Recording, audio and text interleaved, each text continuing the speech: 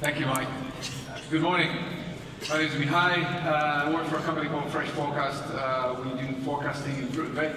And as part of that, we often uh, make uh, external data available to our customers uh, to subscribe to. So um, that's what I'll, I'll, be showing you today. Um, I'll be covering um, quite a large uh, chunk of data. So we've, we've done a research over 200 countries, historical data going back to 20 to year 2000 and we've added forecasts uh, forward um, until 2020, and this is uh, production, export, import, and consumption. And I just want to acknowledge my colleagues who've done the work, Michele Dall'Olio and our virtual assistant Saga, um, and of course the data sources that uh, sit behind this. I can't print these on every slide, so here they are at the beginning, all the data sources that you'll see. So I've got a couple of slides just to show you the, the top line numbers, and then we'll dive into the analytics. So first of all, the, uh, the, the, total production, we're looking at 13.4 million tons of berries produced last year worldwide. Right. So this is, we're covering more than 99% of the, uh, the global production uh, with these 200 countries. Uh, this is projected to grow to 15.4. Um, out of that, a relatively small proportion is uh, being traded internationally, uh, but that part is growing faster. Diving into the largest product, more than 70% of berries produced worldwide are strawberries. Um, the smallest percentage uh, of export among all berries is in strawberries. Um, and that part, you know, is 1 million tons a year, growing at 2.1x uh, since 2000. Um, raspberry and blackberry, so for this study, uh, we've, we've had to aggregate them in our monthly data, you'll see them separate. Uh, but for this study, raspberry and blackberry together, 1.3 million tons last year. Um, really good growth in, in production, but very, very fast growth in export. Again, as Cindy was mentioning, uh, this is coming from a small base.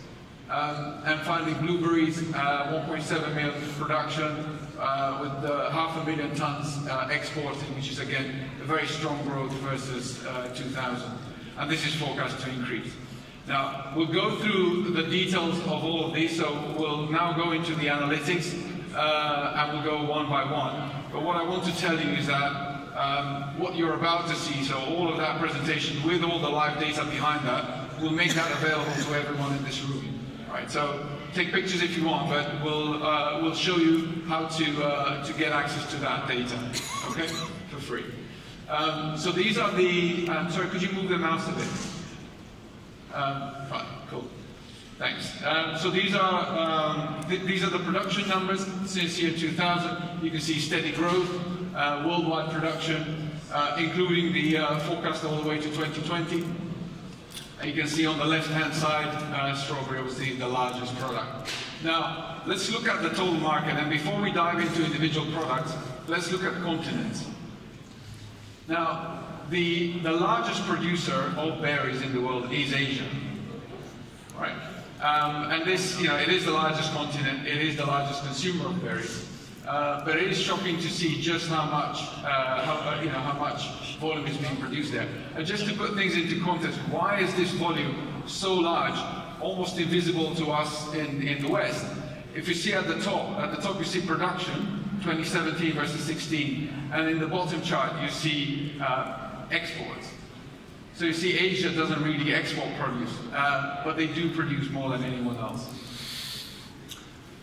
If we move into why that happens, so this is a, a, a this is a consumption uh, chart, and we see that this is a share chart. If you, if you notice in the options, there's a percentage share. So Europe, from uh, the number one position in terms of the world's consumption of berries, has now moved to number three as Asia and North America uh, move up. Uh, in the next slide, we'll, I want to, to show you the, the population, just to put things into perspective.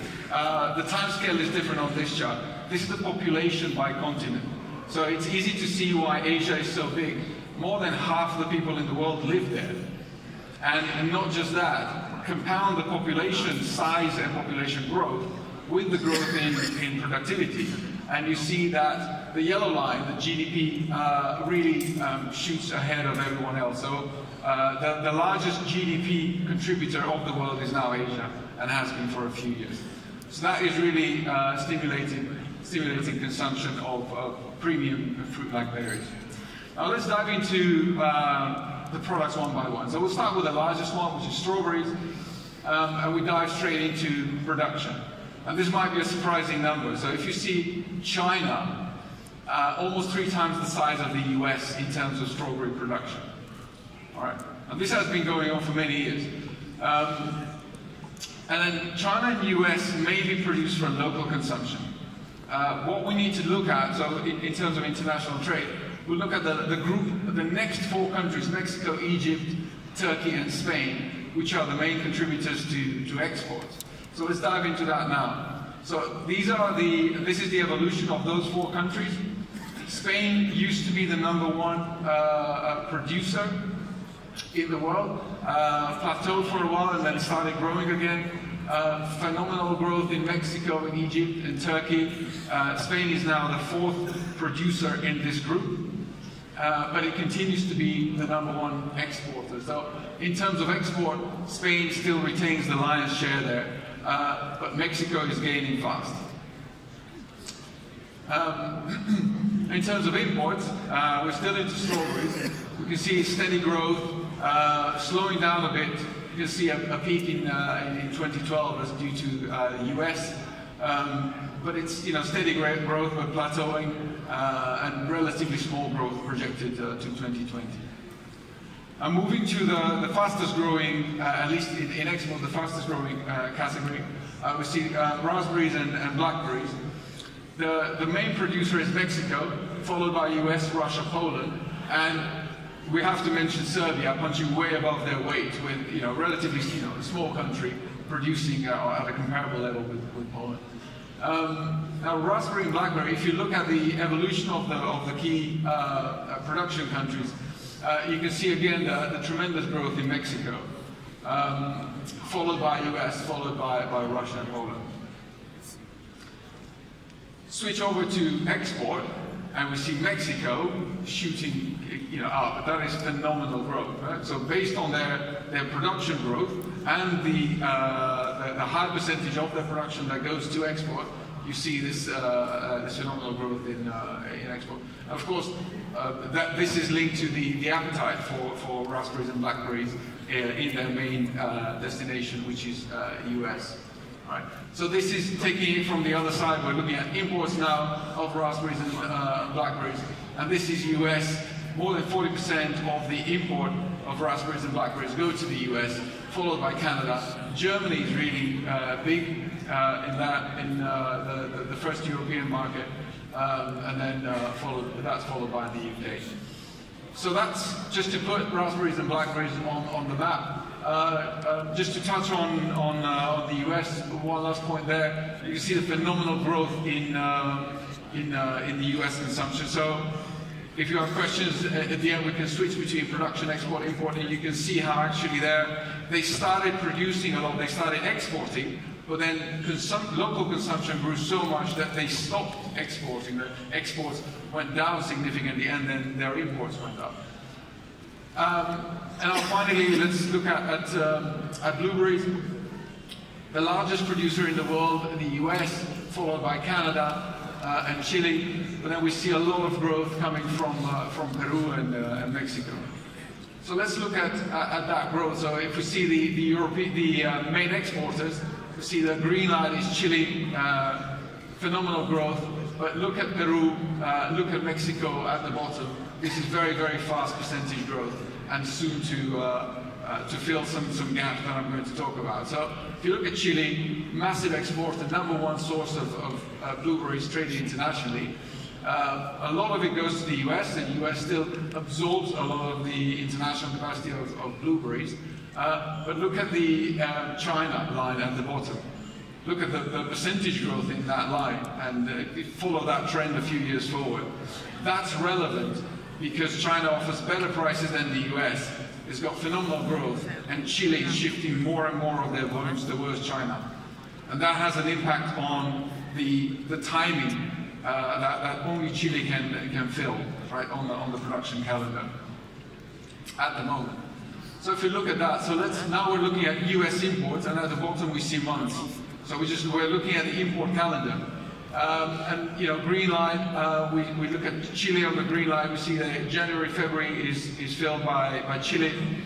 Um, and then we look at the purple line, Mexico fills the, the next gap, uh, followed by, uh, by Canada. And then at the end of the year, we have a mix of, of Peru, Argentina, and then Chile again. So if you imagine the pressure on the green line that will come from, from, from China essentially, from uh, how much China is going to absorb, uh, that will that will make that will create a gap in January, and February. And it's a similar, similar situation in Europe. So these are the um, European. This is the European import calendar. Um, again, Chile fills the same uh, calendar gap, and then it's different sources, obviously in the uh, in Europe, Spain, uh, Poland, and uh, and so on. So this, uh, this is an important one because, uh, and I'll, I'll, finish with this, uh, because this is the, the relative uh, price. This is the comparison between the import prices uh, in, uh, in the main continent. So you look at Asia, it is coming down a bit, and then again, uh, touched on this, as the market matures and some of the products become commoditized, but there's still a significant gap, and it's significant enough for Chile to, to want to ship their goods there. So potentially an opportunity for exporters who can fill the January-February gap in uh, Europe and the States.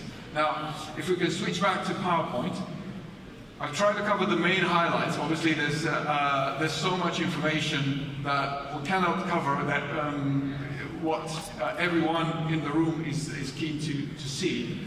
But you can have access to the, to the full data set. Uh, this is completely interactive. Just send an email to member at fresh4cast.com quoting GBC 2018 and you'll uh, uh, we'll set up a, in, in, a couple of days you'll receive a link and you can get free access to all this data. All right? I hope that has been useful. Enjoy the day. I'm looking forward to that. And uh, thank you very much. Thank you, Mihai. Please just take a seat. Cindy, if you could uh, rejoin us on the stage. Okay.